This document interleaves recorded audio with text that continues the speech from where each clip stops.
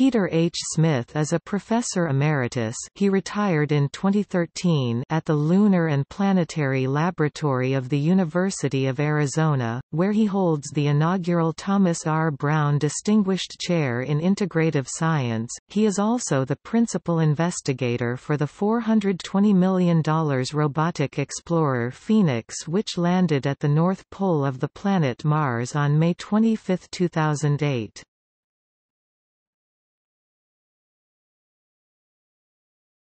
Topic: Early life and education.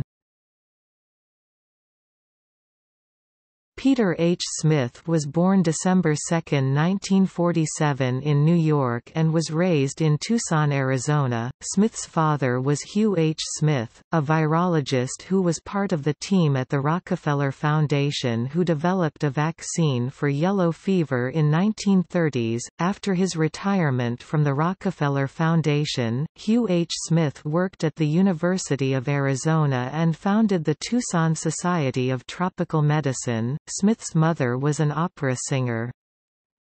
Smith went to Tucson High School and received his bachelor's degree in physics in 1969 from the University of California, Berkeley and his master's degree from the University of Arizona Optical Sciences Center in 1977.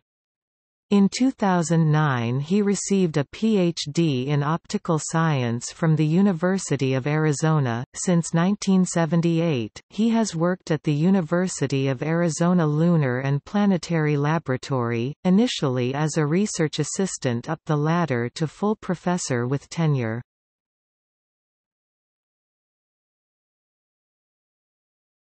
Topic: Space exploration missions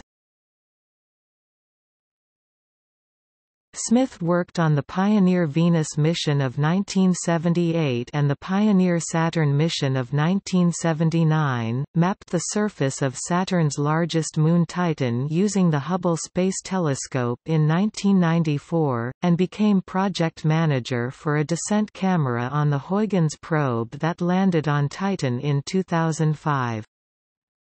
Smith designed the cameras for Sojourner rover of the Mars Pathfinder mission, the ill-fated Mars Polar Lander, and the subsequently cancelled Mars Surveyor lander. He helped to build the microscope for the ill-fated Beagle 2, and managed the building of the 2005 Mars Reconnaissance Orbiter HiRISE camera. He serves on the science team for the Mars exploration rovers which landed in January 2004. Smith's proposal for the Phoenix Mars Lander project was selected in 2003 as the first scout mission to Mars. He was responsible for all aspects of the $420 million mission.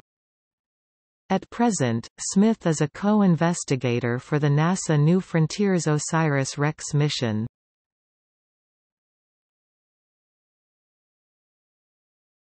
Topic: Awards